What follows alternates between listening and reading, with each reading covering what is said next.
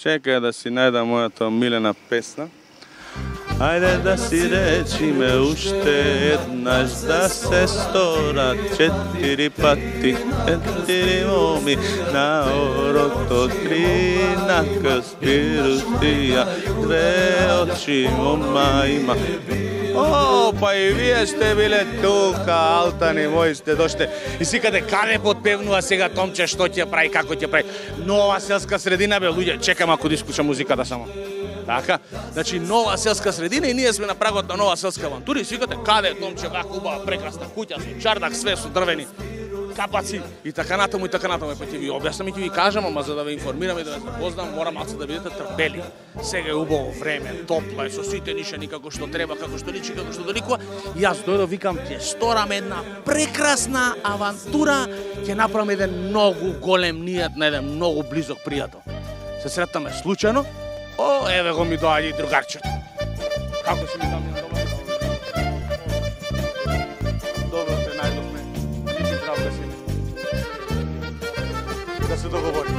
Апсолутно. Терај, одма доаѓам јас веднаш по тебе. Веднаш брат доаѓам.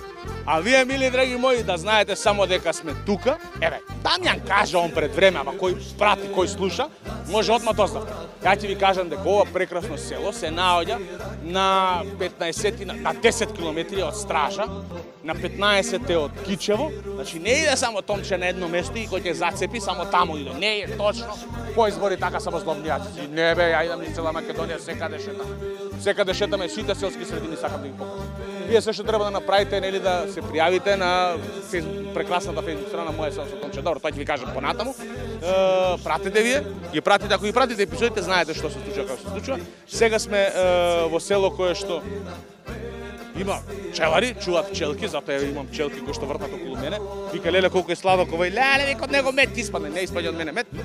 Значи и така е, друго што сакам да ви кажам е ми испрваш сакаш ми кажеш дека треба да си одам, не си одам, имам уште да кажам на луѓето. Значи на 15 км од Кичево, на е, 10 км од Стража, има околу 30 куќи, има околу 50, не, има околу 30 домаќинства, има околу 50 жители.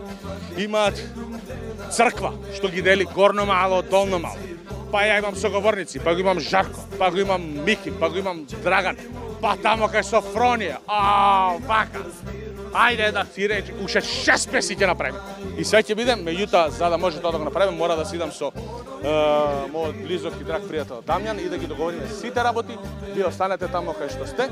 Ние започнуваме набрзо да ви ја презентираме прекрасната, најубавата, ако не и најдобрата репортажа до сега направена за село Букојчини, пошто поубава репортажа од оваа за Букојчини немам видео.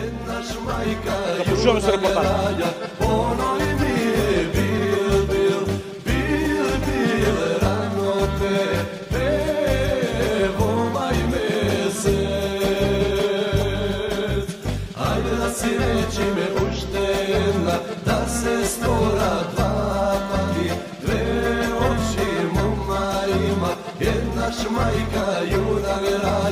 no, no.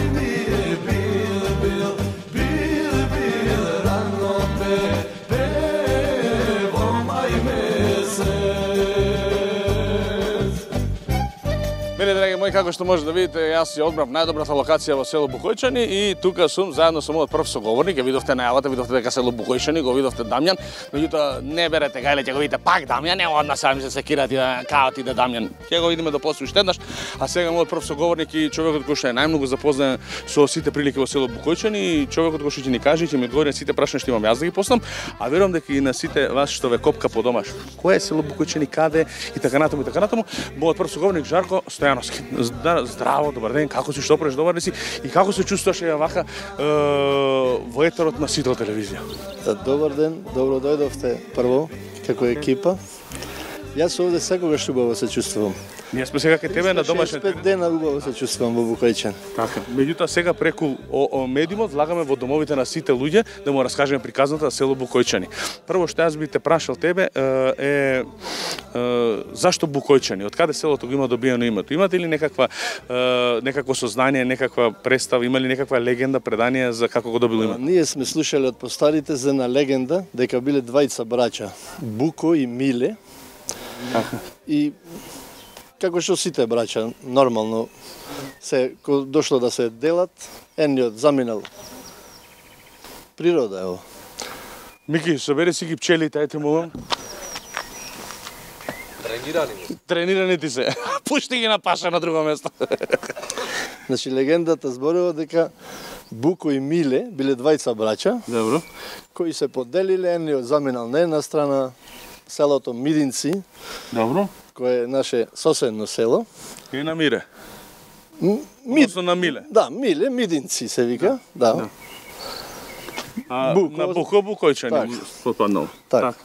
Е, некако слична легенда имам за три села во Кривопланичкиот регион, меѓутоа ќе го ставиме тоа за друг пат. Вие што пратите редовно и гледате моје село, си знаете.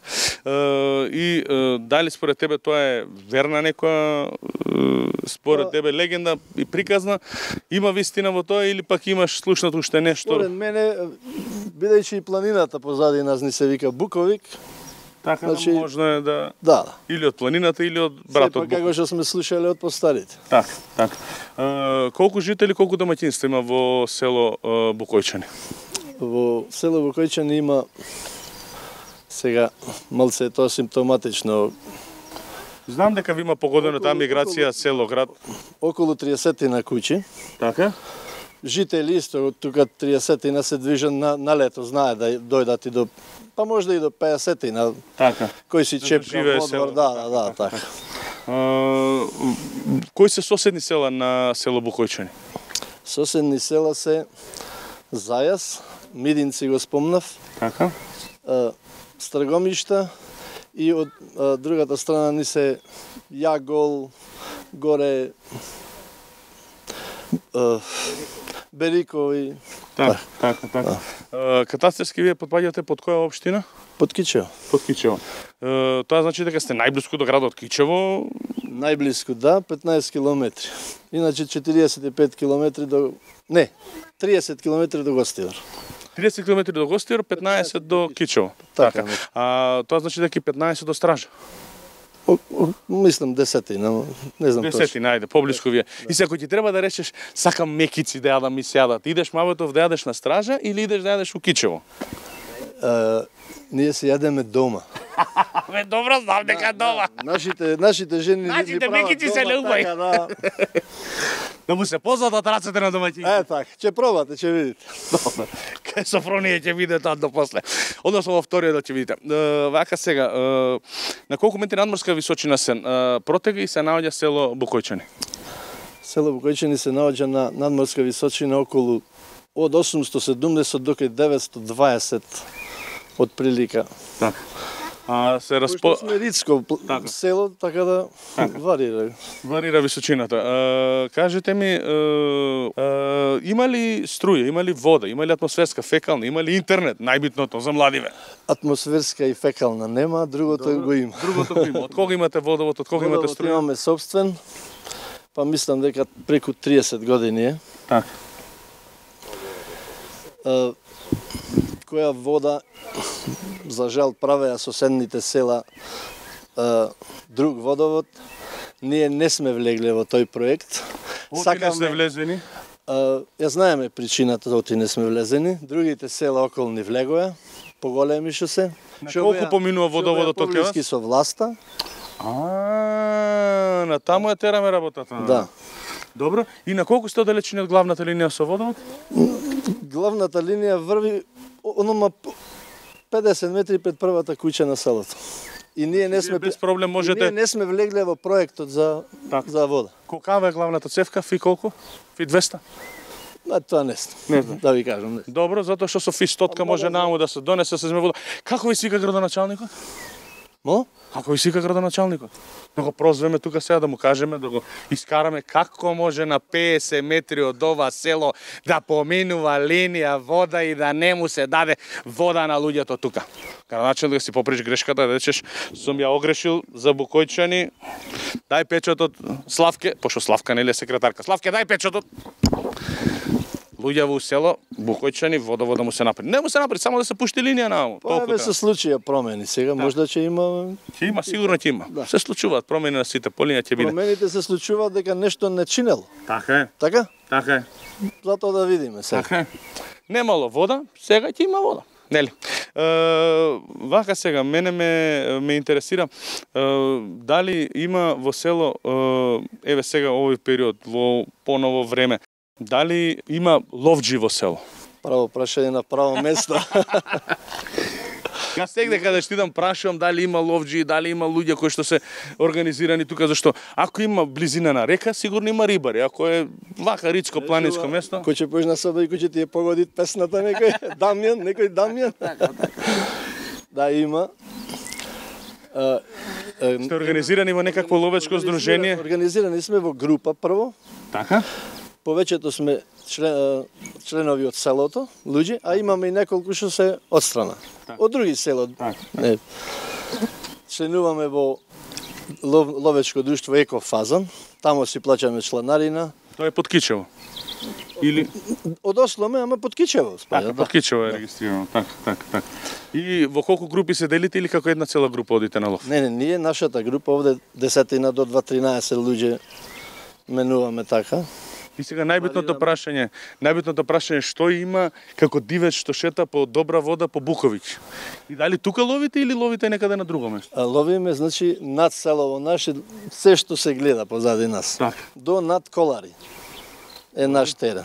Меве сега едно сосема за крај прашање што би ти го поставиле, бидејќи ги знаеш приликите тука во село, си ги знаеш сите соселани, си знаеш начинот на кој што функционираат и на кој што живеат во село, си порасна тука, дали можеш да ми кажеш со еден збор со два, какви се еве како карактеристика да кажеш за луѓето од Букојчани. Добри, паметни, домаќини, ловджи, естафи, о, немој, пејачи, играорци, весели луѓе.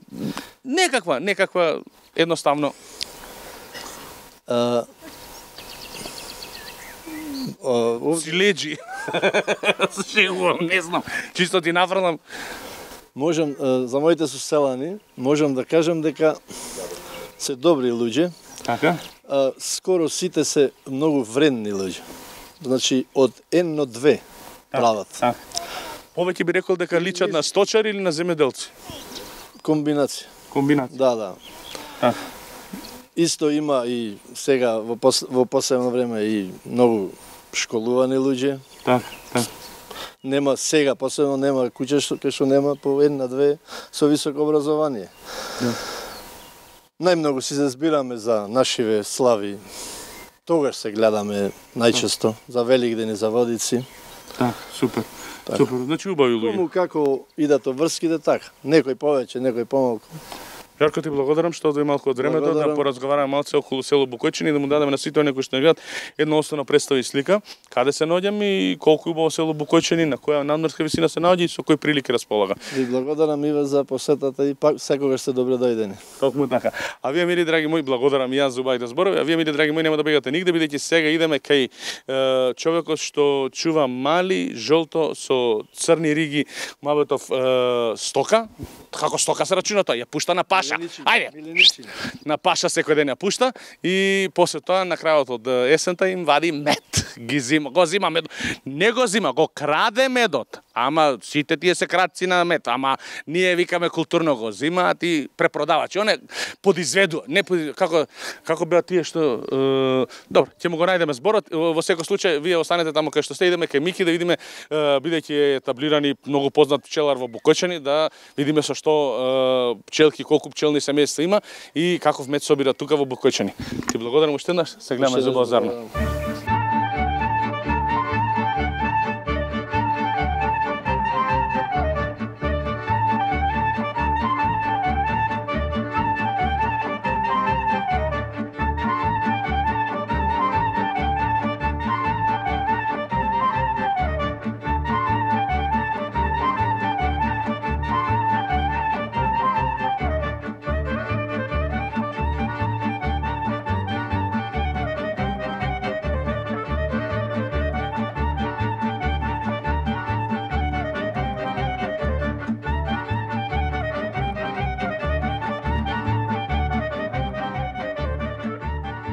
Миле драги мои, како што може да видите, ви кажав јас дека ќе идеме од кај Жарко таму, меѓутоа додека да стасаш туку Букојчини, знаеш како е времето раз... променливо, ваква е, значи исто како ни Скопје пре што беше пред едно две недели три, на лекарства е времето. Тука значи има час, плаче, час се смее, час. До сега беше сонце, сега малку дошт, колку за да пораснеме нешто коса да ни порасне. Ја од мојата лева страна имам постарата генерација на пчелари во село Букојчани, Стојмир Велјановски и се разбира Мирослав Зафировски од Понова поновата генерација. Добар ден и на двајцата. Добар ден. Добар ден. И добро дојдовте. Добро ве најдовме. Вака сега, прв пат со двајца соговорници и зашто? Затоа што има некои прашања што ќе му ги поставиме на Мики, нема да знае да ги одговори, затоа Чичко Стојмир е тука за да едноставно каже се што не се знае. Е, Прво ќе ја прашам и двајцата, колку за колку пчелни семејства се грижиш, Чичко Стојмир? Јас претходно имав многу че пчелни семејства, околу 50, ама се деси тоа што се деси Сега колку и има? сега гина, сега имам 22. Така. А Мирослав, твој ученик е? Мислам дека развојот оди добро сега за сега и овде има овде моментално во овој крај е најквалитетниот мед што постои. Абе сега ти си го фалиш, не знаеме тоа дали е така. И докажам, а Мирослав е мој ученик и Мирослав доста добро учи, доста добро Си ги знаели сваќа, да. лекциите? Си ги знае лекциите, Ги понекога знае да утне, али добар е. Добар е. Кој ти утне го пречекуваш со една... Да, да, да. Тагере, абе Добар, како добар. кажавме една васпитна. Добар е. Така, или Добар. му носиш пчели, му викаш овие три пчели, пчели кажувам, боцнете го, боцнете не, го. Му кажувам ова е за ова, ова е за она. Така. Го имаш научено матици како се Го размножува? имам научено и за развојот добар и моментално мало е утнува работата, ама добар е. Добро, значи не треба да ги лиже сандаците, треба да го лиже медот во сандаците, да не аутиње работата. Он е многу мерак на лижење и на медот и затоа, иначе Така, јас за тоа го знам ја, вака се наоѓаме и ја мабето сум исто мераклија за лижење сладолед, ова што чоколадни Иначе торци. Што ме праша ти дека секој го фали својот мед, 70-те години. Добро. Тука имаше пчели, имавме и ние и ги праќавме медот, го праќаме во Словенија. Така. И во Словенија медот беше негде прво, не да речем, прво, второ до трето место. За квалитет. 70-тите години. Да, да, да. 80-тите, 90-тите, 2000-та, 2010-та, 2020-та, 50 години подоцна. Под Буковиќ е најквалитетниот мед. Ќе видиме. Ќе видиме сега со младата генерација. да ти дадеме да пробаш пошто А, ништо не правам ја муабет вака. изваден. Чим нема се проба, не се прави муабет. Сега момент, сега ќе го преслушаме ученикот да видиме што ќе каже. Ајде. Мики, кажи ми вака сега, за колку пчелни семејства ти се грижиш? Прилика 20 пчелни семејства. 20 пчелни семејства. Од што се собира мед тука? Од каква паша има? Детелина, багрем и боров и дабов. И дабов. Да. А чалија? Не, Има нема тука? Нема. не. Нема. И па јас што имам пробано најдобар мед и најубав мед до сега било чалија, како карамела, кој ќе го свиткаш вака, па кој ја направиш... Јас мислам па се се тегне. проба не може да се каже. Абе, А тоа можам да ти дадам Абе, да така е сега, ама добро, после тоа на дегустација ќе видиме. Да. Сега малку засили дождов, ама тоа не е проблем, ние тука. Тука е медот претежно од дап и ливацки. И ливацки, Шумски ливацки, нема друга Така. паша. Два пати вадите годишно мед или еднаш? Па зависи од пашата. Е- Еднаш до два пати, може и три пати ако е добра паша. Добро. Добра година.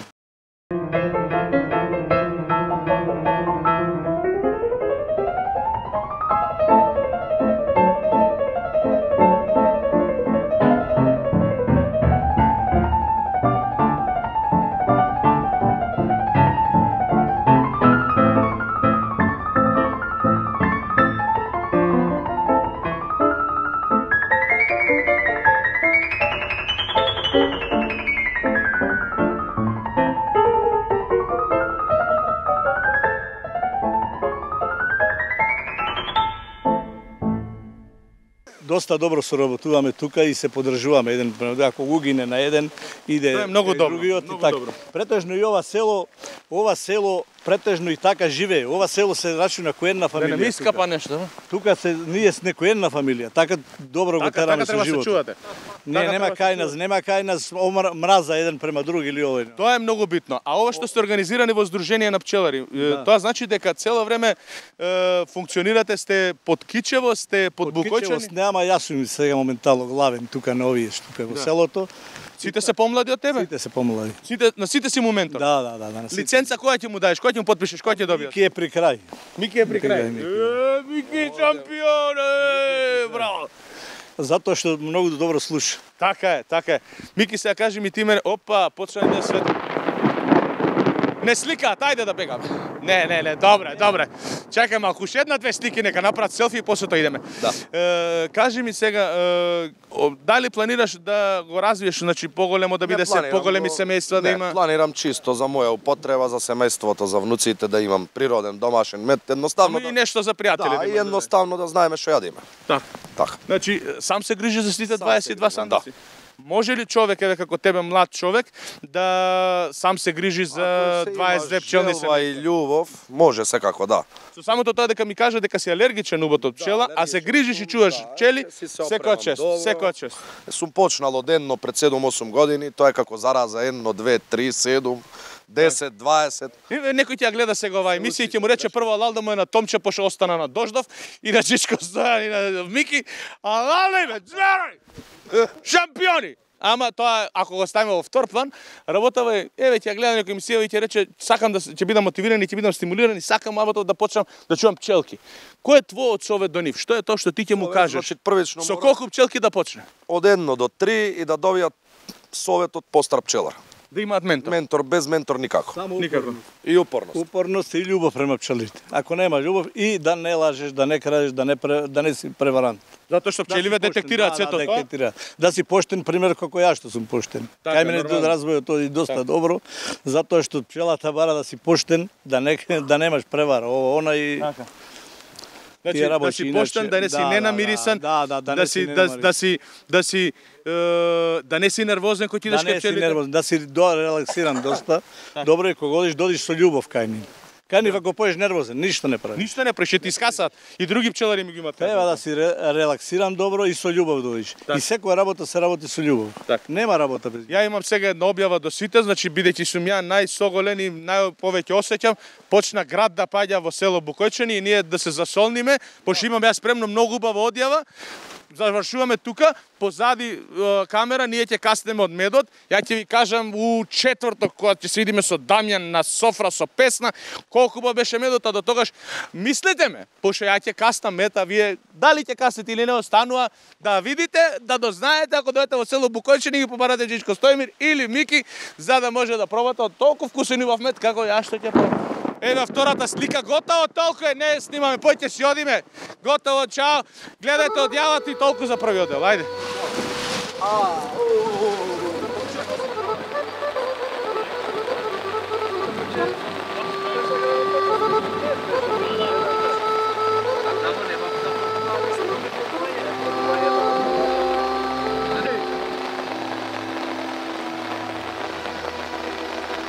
Oh, oh, oh.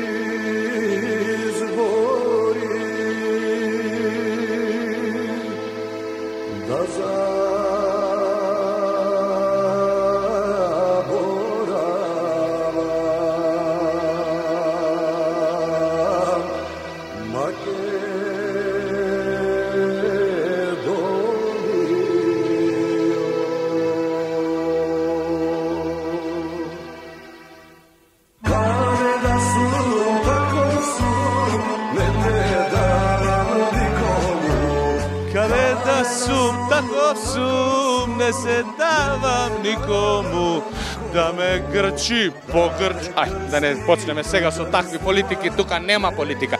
Тука сме дојдени за Букојчани, а Букојчани е прекрасно во место и село и јас сум тука дојден за да сработам затоа што на изнес од село ми рекоа вака сам, вика слушај Томче. Пази, прај што ќе правиме, искосена е вика треба, искосена е ова детелинка ова што е Како? Детелинка, токму така. Ја погодив ја, доко знам одма дека е детелинка. И викам чиме ова детелинка искосена, дај викам да завршиме работа, да префрлиме, да натрупаме на еден куп, да направиме убав куп, да направиме за да може да се исуши, да може стока да јаде. И сега кога би се работело тоа како би изгледало, вака изгледа.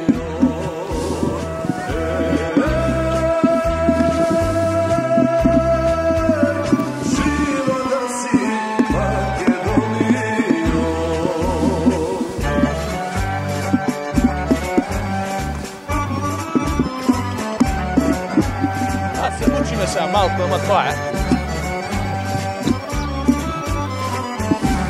Не било така лесно како ја што се мислел, ама добро. Ова ти е на систем на шпагета макарона, значи ќе го ставиш вака малце, ќе вртиш лево десно, како голема шпагета било. И така вообичаено во село, во Букојчани, шпагета систем они зимале, гледале шпагета вестрен многу и затоа зимали и вака ги сукале и од кој ги вака они ги правеле фактички како бали одма.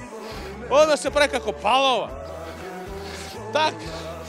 И тук, а, сум усмислила нова техника на собирање на вакво, на стогови сено и еве ја презентира само што презентира, значи ова е лично моја патентирана од Букојчани евидентирана на телевизија Ќоди, оди, значи не, да не ми ја крадете, ако сакате права авторски, ќе се договориме со нели како што си иде маржа таму тантиемите и плаќите така натаму така натаму.